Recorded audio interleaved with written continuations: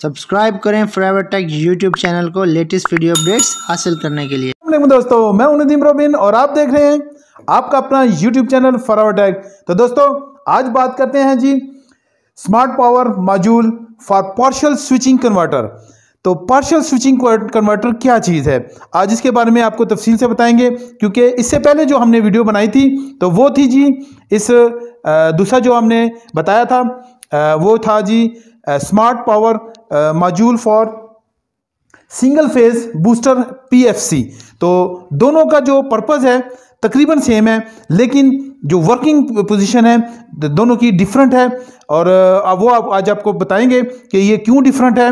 और इसके इसके बाद आपको इसकी टेस्टिंग भी बताएँगे और इसके साथ इसकी आपको सिमेटिक भी बताएँगे। अब दोस्तों, हम बात कर लेते हैं पार्शल स्विचिंग कन्वर्टर के बारे में। तो हम इसको यहाँ से हटा देंगे। क्योंकि इसके बारे में हम ऑलरेडी वीडियो अपलोड कर चुके हैं। तो ज़्यादातर बात चूँकि आज पार्शल कन्वर्टर की है तो इसके बारे में ही हम बात करेंगे। आप देखें जी, सबसे तो पहले इसकी हम देख लेंगे कि यहाँ पे वोल्टेजेस वगैरह कहाँ आते हैं ताकि आसानी हो। और दूसरा ये कि ये चूँकि ख़राब हो चुका है तो इसलिए इसको हम इलेक्ट्रिक नहीं दे सकते। और यहाँ पे जो है ये फॉल्ट दे रहा है और ये पीसीबी को ऑन नहीं कर रहा है, क्योंकि इसका जो यहाँ पे एक पॉइंट है, वो ओपन हो चुका है तो इस वजह से ये काम नहीं करता। लेकिन फिर भी आपको समझाने के लिए ताकि जो है वो आपके नॉलेज में इजाफा किया जा सके। अभी जो है, सिर्फ़ और सिर्फ़ आपको मैं डेमोस्ट्रेशन दूँगा सिर्फ़ कि आपने इसकी इलेक्ट्रिक कहाँ कहाँ आती है और ये उस पहली वाली वीडियो जो है, उससे डिफरेंट क्यों है? तो यहाँ पे देखें, सबसे पहले जो डिफरेंस है, इसकी ये जो है इन पिनों का डिफरेंस है जहाँ पे इलेक्ट्रिक हम देते हैं और जहाँ से वसूल करते हैं। फिर दूसरा डिफरेंस इसका ये है कि इसकी हाई साइड और लो साइड बिल्कुल एक दूसरे से जुदा है। जबकि दूसरा जो हमने देखा था उसकी लो साइड पे हमें जो एक, साइड दो पिनों पे हमें मिलते थे नेगेटिव और इसके साथ जो आठ आठ से आठ पिनें जो थी, वो भी सब नेगेटिव साइड पे जो थी, वो ज्वाइंट थी। लेकिन ये बिल्कुल जुदा है। यहाँ पे जो लो साइड है, वो इसके बिल्कुल सेपरेट है, और जो हाई साइड है, वो बिल्कुल सेपरेट है। अब यहाँ पे हम देख लेते हैं कि यहाँ पे हमें वोल्टेजेस कहाँ कहाँ मिलते हैं। तो देखें, यहाँ पे ये जो इनपुट की पिंस हैं ये दोनों आ रहे हैं इनपुट यहाँ पे, और अगर हम गौर से देखें इनपुट्स को तो देखें यहाँ पे हमें नेगेटिव और यहाँ पे पॉजिटिव या लाइन हमें मिल रही है। जब यहाँ से 220 230 वोल्ट्स आ जाएँगे तो इन, इस यहाँ पे इनपुट अंदर चला जाएगा इन दोनों पिनों से। मतलब कि 26 पिन और 25 पिन जो है, ये हमारी इनपुट पिन हैं।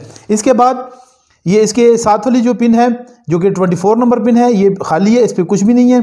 लेकिन यहाँ पे देखें, ये जो 21, 22, 23 नंबर पिन है। और यहाँ पे हमें मिलेंगे नेगेटिव वोल्ट्स और यहाँ पे हमें इसकी जो 27 नंबर पिन है यहाँ पे हमें पॉजिटिव मिलेंगे।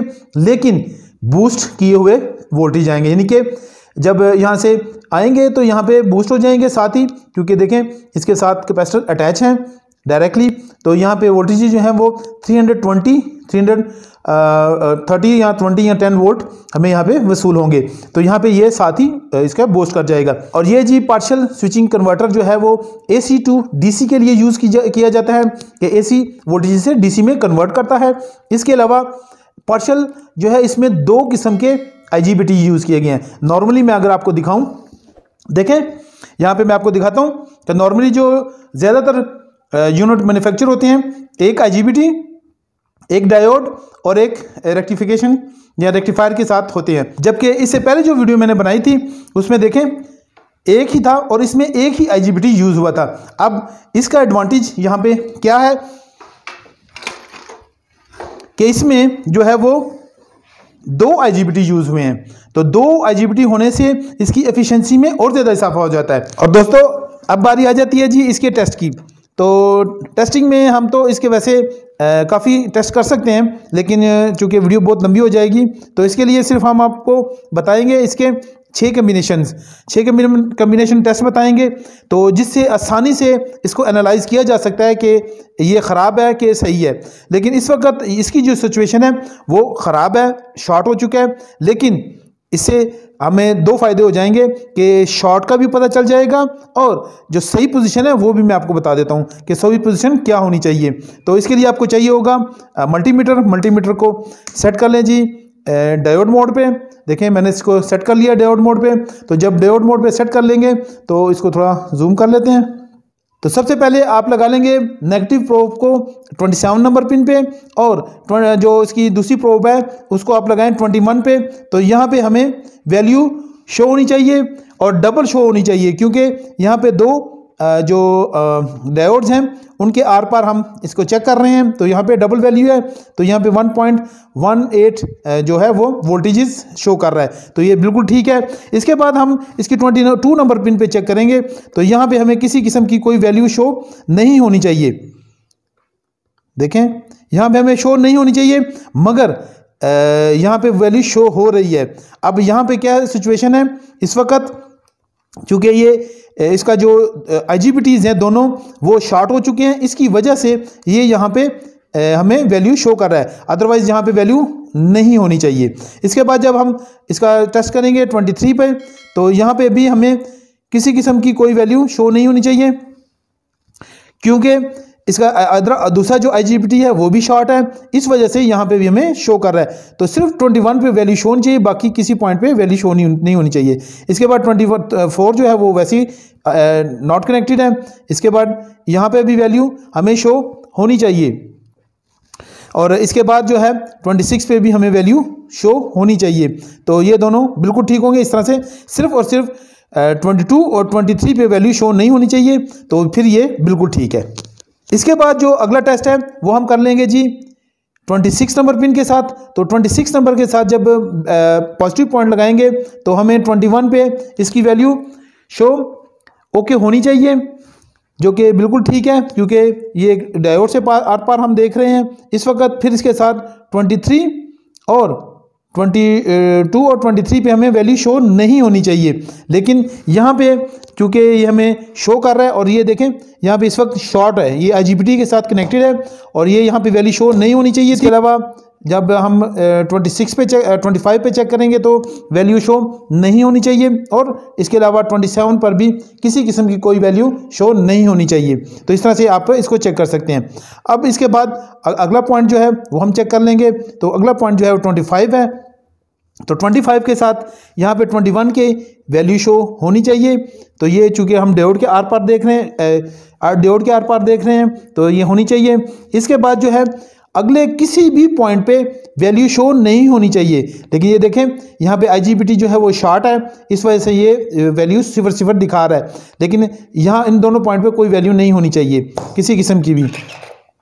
तो देखें, अब अगर अगर मैं इसके साथ लगाऊँगा 26 और 27 के साथ भी तो कोई वैल्यू नहीं दिखा रहा है। तो इस तरह से आप इन तीनों पॉइंट के साथ इन तीनों पॉइंट को चेक कर लें तो आप आसानी से इसको चेक कर सकते हैं। अब हम करते हैं इसका सेकंड टेस्ट सेकंड टेस्ट में क्या करेंगे कि देखें, ये जो पॉजिटिव की जगह नेगेटिव आ जाएगी नेगेटिव जगह पॉजिटिव आ जाएगी। तो अब पॉजिटिव को हम ट्वेंटी सेवन पर लगाएँगे और नेगेटिव को ट्वेंटी वन और इस तरह से हम चेक करेंगे। तो अब जब हम इसको लगा लेंगे जी ट्वेंटी सेवन पे तो और ट्वेंटी सेवन को लगा के पॉजिटिव पॉइंट और इसके बाद आगे अगला पॉइंट होगा twenty one point twenty one तो यहाँ पे हमें किसी किस्म की कोई वैल्यू शो नहीं होनी चाहिए। इसके बाद जो अगला पॉइंट है, वहाँ पे भी कोई वैल्यू शो नहीं होनी चाहिए। इसी तरह यहाँ पे भी कोई वैल्यू शो नहीं होनी चाहिए, यहाँ पे भी, यहाँ पे भी और यहाँ पे भी।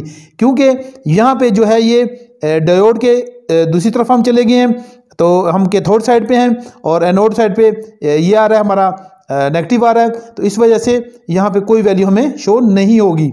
इसके बाद आ जाता है जी, अगला पॉइंट तो पॉजिटिव हम ले जाएँगे जी ट्वेंटी सिक्स पे। तो ट्वेंटी सिक्स पे जब ले गए तो उसके बाद हमें जो ट्वेंटी वन पे है, किसी किस्म की वैल्यू नहीं शो होनी चाहिए।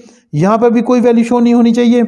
इसके बाद जो है ट्वेंटी थ्री पे भी कोई कोई वैल्यू शो नहीं होनी चाहिए। लेकिन यहाँ पे चूँकि आई जो है वो शार्ट हो चुका है तो इस वजह से ये वैल्यू शो कर रहा है। लेकिन जो ओरिजिनली है, अगर ठीक है तो ये वहाँ पे वैल्यू शो नहीं होनी चाहिए। इसके बाद जो है, यहाँ ये तो खाली है, इसके बाद अगला पॉइंट यहाँ पे कोई वैल्यू नहीं होनी चाहिए। अब आ जाते हैं यहाँ पे, जो अगला पॉइंट मैं आपको बताता हूँ। तो जब हम इसके 27 पे चेक करेंगे तो यहाँ पे वैल्यू शो होनी चाहिए, क्योंकि हम डायोड के आर पर देख रहे हैं, और इस वजह से वो हमें वैल्यू देगा। अब आ जाते हैं जी, इसका अगला पॉइंट अगला पॉइंट क्या है जी? हम 25 की तरफ़ चले जाते हैं 25 पे पॉजिटिव और अगला जो 21 पे, यहाँ पे भी हमें कोई वैल्यू शो नहीं होनी चाहिए। इसी तरह अगला पॉइंट नहीं होनी चाहिए, लेकिन आई शॉर्ट है, इस वजह से ये हमें यहाँ पे ये वैल्यू शो कर रहा है, सिफर सिफर। लेकिन यहाँ पे ओरिजिनली अगर ठीक पोजीशन है तो नहीं होनी चाहिए। इसके अलावा आगे पॉइंट पे भी कोई वैल्यू शो नहीं होनी चाहिए, ये तो खाली है। इसके बाद जो अगला पॉइंट है, देखें, यहाँ पे कोई वैल्यू शो नहीं होनी चाहिए, लेकिन फिर से मैं आपको बता दूँ 27 के साथ वैल्यू शो होनी चाहिए। तो ये फिर बिल्कुल ठीक होगा। तो अगर आप यही टेस्ट कर लेंगे नॉर्मली ये जो नेगेटिव पॉजिटिव प्रोब्स का और ये तीन पिनों का। तो आपस में कम्बिनेशन चेक कर लेंगे। तो मेरा ख्याल है कि इससे एनालाइज हो जाएगा कि काफ़ी हद तक ये ठीक है कि ये ख़राब है। और दोस्तों, ये रही इसकी स्मेटिक डायग्राम तो आप इसको वीडियो को पास करके इसको चेक कर सकते हैं। इसके अलावा आगे चल के आपको हम आपको नंबर दे देते हैं।